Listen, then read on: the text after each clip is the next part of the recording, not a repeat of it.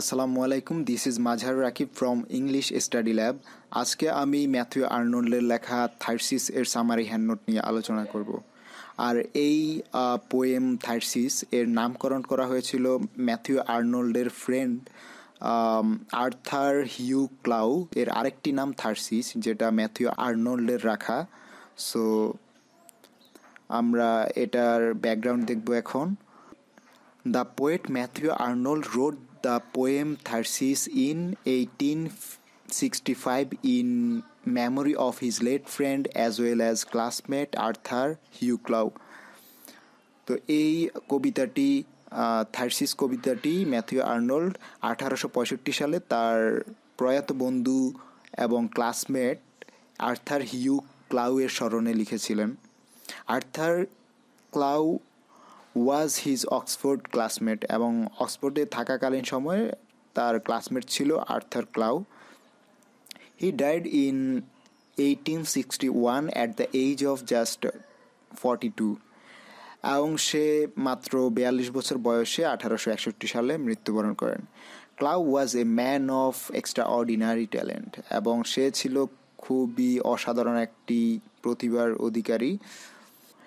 At that time the area around Oxford was surrounded by the rural environment and endless resources of nature এবং ওই সময়ে প্রাকৃতিক সম্পদে পরিপূর্ণ একটি ইনভায়রনমেন্টের মধ্যে ছিল এই অক্সফোর্ড ইউনিভার্সিটির আশপাশের এলাকা the poem Thyrsis has some connection with the scholar gypsy poem তো এই থার্সিস পোয়েমটার সাথে স্কলার জিপসি পোয়েমেরও কিছুটা মিল আছে। আর স্কলার জিপসি পোয়েমটাও আমি অলরেডি আমার চ্যানেলে আপলোড করে দিয়েছি। আপনারা চাইলে ওখানে ভিজিট করে দেখতে পারেন।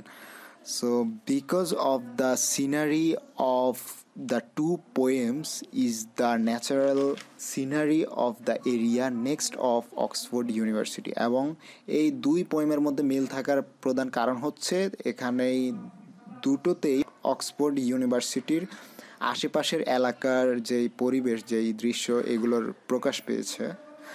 The poet used to wander aimlessly in the village in natural scenery এবং কবি এক সময় উদ্দেশ্যহীনভাবে এই প্রাকৃতিক পরিবেশের গ্রামগুলোতে হাঁটতেন।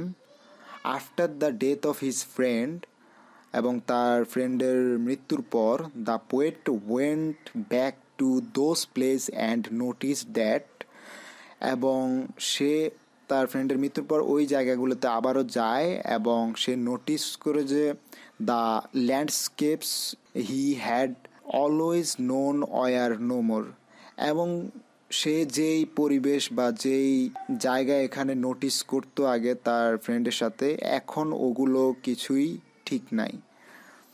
The poet remembers his late friend while visiting this place এবং সে তার ফ্রেন্ডের কথা স্মরণ করে যখন সে এখানে ভিজিট করে।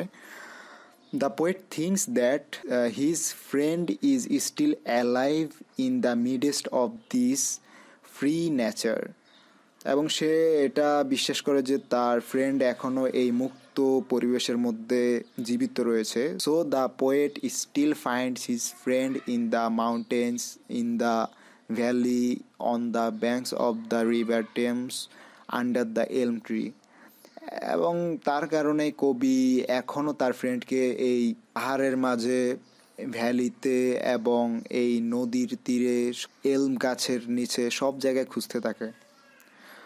সো আমরা এখন এটার সামারি অ্যানালাইসিস দেখব।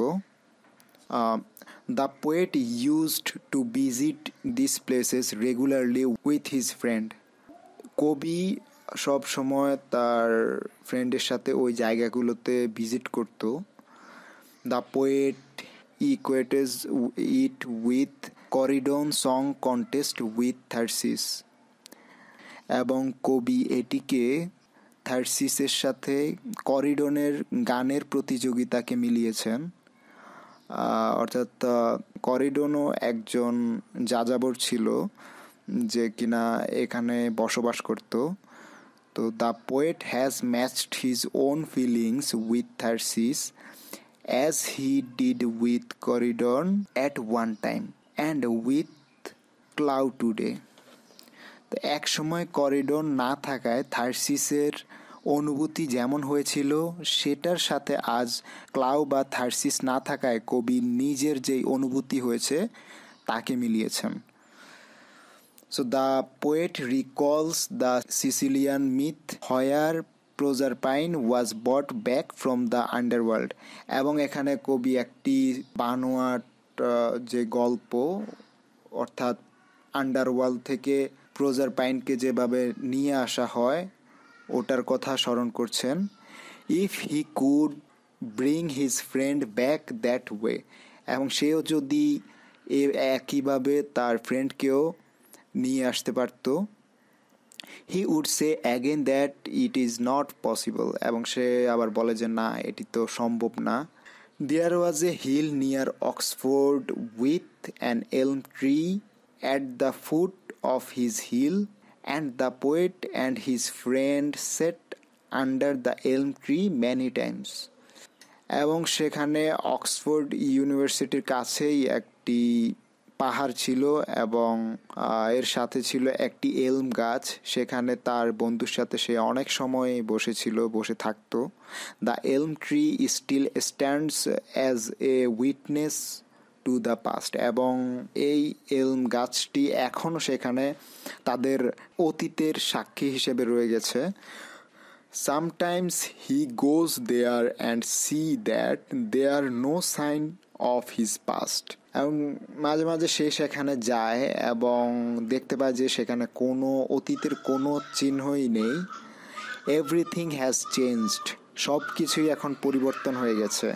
The poet is feeling pain remembering the past in this situation এবং এই অবস্থায় সে তার অতীতের কথা, অতীতের ভাবনাগুলো মনে করতে থাকে এবং কষ্ট পেতে থাকে। The poet sees the reflection of his friend Clough memory everywhere এবং সে সবখানেই তার ফ্রেন্ডের রিফ্লেকশন দেখতে পায়। The poet identifies his friend as a seeker of knowledge and seeker of truth এবং সে সবসময় তার বন্ধুকে আইডেন্টিফাই করে একজন জ্ঞান অন্বেষণকারী হিসেবে এবং একজন সত্যান্বেষী হিসেবে। His friend left the urban life for the love of nature এবং তার ফ্রেন্ড এই আভিজাত্য সোসাইটি ত্যাগ করেছিল নেচারের ভালোবাসায় পড়ে। The poet still finds the memory of his friend in the mountains on the banks of the river Thames তো এখনও কবি তার ফ্রেন্ডের এই মেমোরিগুলো খুঁজে পায় তার এই পাহাড়গুলোর মাঝে, এখানকার নদীর মাঝে, টেমস নদীর মাঝে। The poet also recalls a girl who help them leave the boat. এবং সে আরও মনে করতে থাকে একসময় একটা মেয়ে তাদেরকে তার নৌকা ছেড়ে দিয়ে তাদেরকে হেল্প করেছিল। But towards the end the poet's minds gets a little better when he see some hunters. এবং শেষের দিকে তার মনে কিছুটা হলেও শান্তি মেলে যে যখন সে এখানে কিছু শিকারীকে দেখতে পায়। The biggest thing is that he also found found that elm tree alive. এবং সবচেয়ে বড় বিষয় হচ্ছে সে এখানে এখনও এই এলম গাছটিকে জীবিত দেখেছে।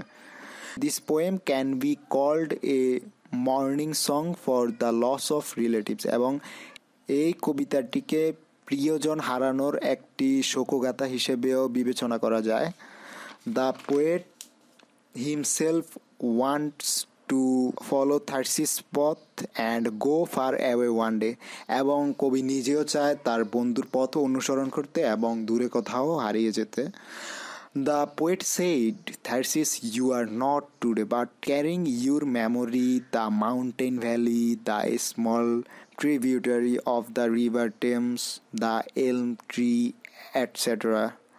এবং সে আরও বলে যে থার্সিস তুমি এখন আর নেই আমাদের মাঝে বাট তোমার মেমোরি এখনও এই মাউন্টেন ভ্যালি এই নদী এলম গাছ, এই সবগুলি তোমার মেমোরি এখনও বহন করে বেড়ায়। The poet thinks that the soul of his friends still wanders in this free nature এবং সে এটা সবসময় ভাবে যে তার বন্ধুর আত্মা এখনও এই ফ্রি নেচারের মধ্যে ঘোরাফেরা করে।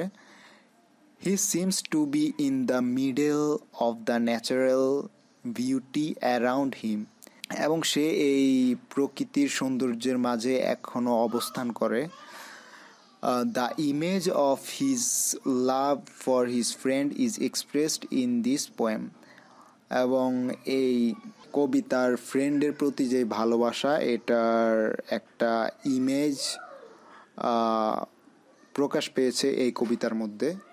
সো এই ছিল আজকের কবিতা সামারির হ্যান্ড নোট সো আশা করি আপনারা এটা থেকে উপকার পাবেন। আর যদি আপনাদের উপকারে লেগে থাকে, তাহলে অবশ্যই চ্যানেলটিতে সাবস্ক্রাইব করে রাখুন আর ভিডিওটিতে লাইক করুন। আর নতুন কোনো ভিডিও যদি রিকোয়েস্ট থেকে থাকে, তাহলে তা কমেন্ট করে তাহলে তা কমেন্ট করে জানান। আশা করি যত তাড়াতাড়ি সম্ভব আমি আপলোড করার ট্রাই করব।